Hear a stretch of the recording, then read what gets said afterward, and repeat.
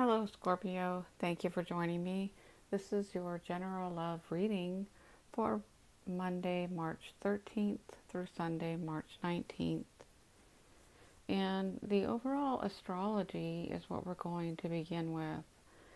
And that is going to be focused on Venus entering Taurus this week, which is your opposite sign. So could be that the planet of love, which is Venus, could be bringing some harmony, some love, some new partners.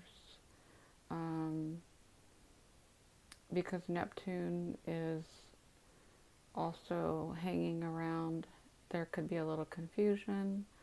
So you just want to make sure that you don't jump into something too quickly or make um, make a decisive conclusion about something where you can't uh, go back. You know, you don't want to say something that you can't take back this week, basically.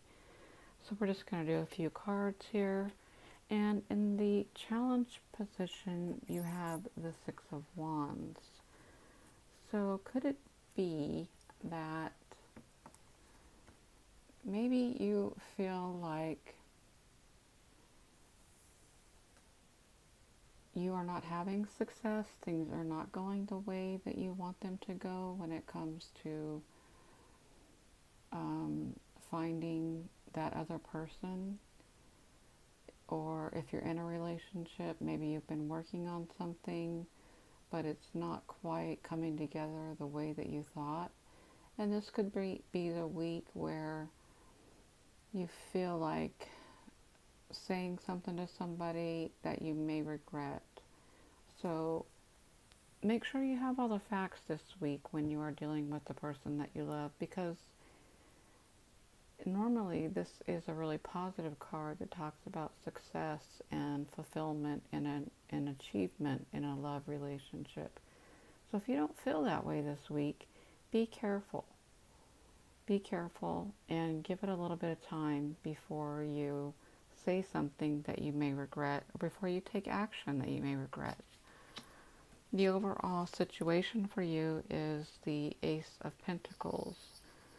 So you may have an opportunity here for a new person entering your life or perhaps some new money coming in.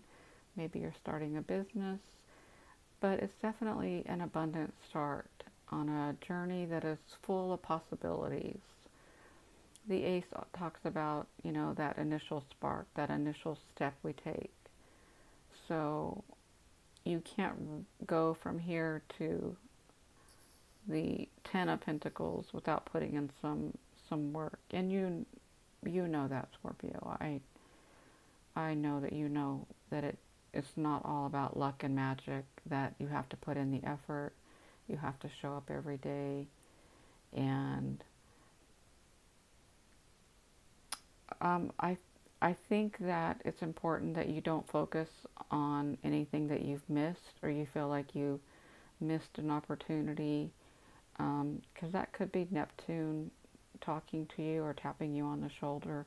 You do have opportunities in front of you, so don't worry about what has been, but focus on the on the now and let's take a look at what the overall outcome is. So the overall outcome is the Six of Pentacles. And the Six of Pentacles is talking about um, gener- generosity, so, you know, having somebody in your life that is supportive, somebody that you support and they support you. It's about reciprocity. You both are giving and you both are receiving love and you understand that it takes time to build up love and trust with someone. It also takes time to build uh, fi- fi- like a financial nest egg, so to speak.